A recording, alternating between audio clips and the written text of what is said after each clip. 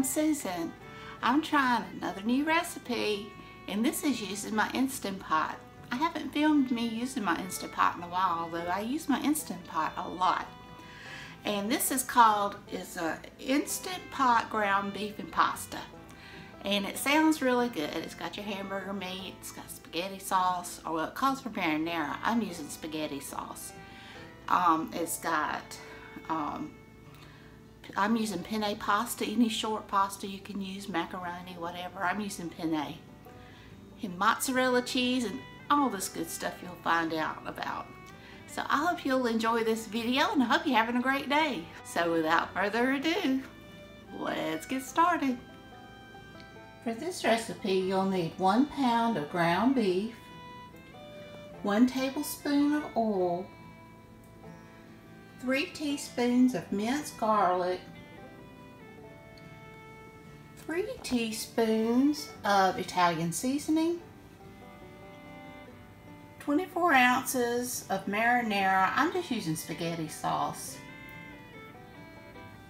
2 cups of water, 1 cup of beef broth, 16 ounces of short uncooked pasta, I'm using penne,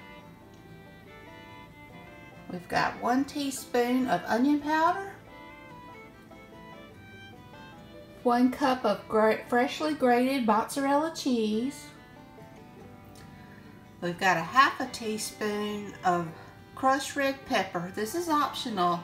It gives it a kick. And then we've got salt and pepper to taste. I'm setting my Instant Pot to saute and I'm pouring in my tablespoon of oil and I'm letting my pot get hot. Now that my Instant Pot is hot, I'm adding in my ground beef and I just want to brown that. I'm salt and peppering my beef. The recipe says to add salt and pepper at the end of the complete cooking, but I just, I like the salt and pepper when I do my meat. To me, it just tastes better that way. So that's what I did. Now that my meat is browned, it's time to add in my garlic and my Italian seasoning. I'm going to let this cook for a couple of minutes just to get the flavors together. And then I'm going to drain my hamburger meat.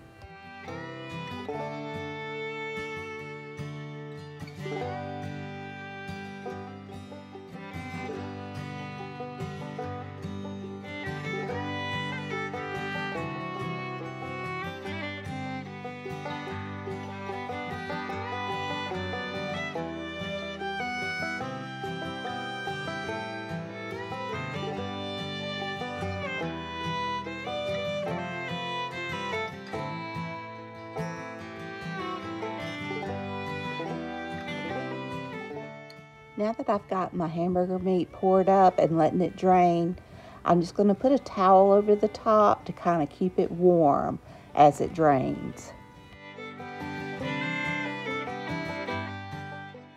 Now I'm going to add in my marinara or spaghetti sauce, my water. I just pour some of the water in my jar just to get every bit of the sauce out of that jar. But I pour the rest of the water in there, my beef broth, my noodles, my red pepper, and my onion powder. And I cook this for eight minutes.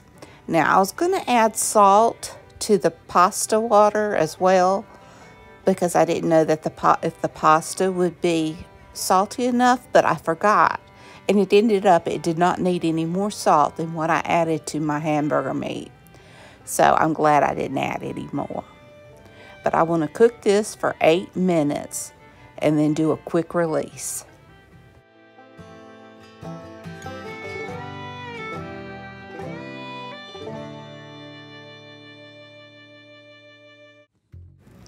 Now when using your Instant Pot, you want to make sure that your valve is set to sealing, which mine is and it'll come up to pressure. It'll take a little while for it to come up to pressure and then it'll cook for the eight minutes. And a quick release is just turning that valve so it's opening and all the steam will come out. And you'll hear a pin drop. And that's when you know that you can take your lid off.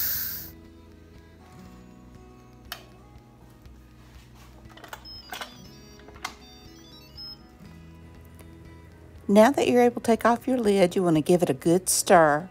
You want to add in your hamburger meat and your mozzarella cheese and give it a good stir. Now this is when the recipe says to add in your salt and pepper.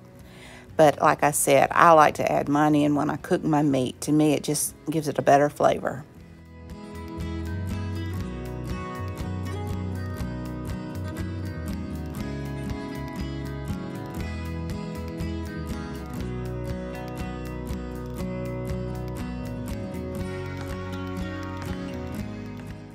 And here it is. It was really good, very cheesy, delicious. My family loved it. It's a keeper. So I hope you enjoyed this video. If you did, please give me a thumbs up. Hit that subscribe button if you haven't. Ring that bell so you can be notified when I upload new content. Leave a comment. Tell me what you think. Y'all have a great and wonderful day. Give this recipe a try. You won't be disappointed. And until next time, bye y'all.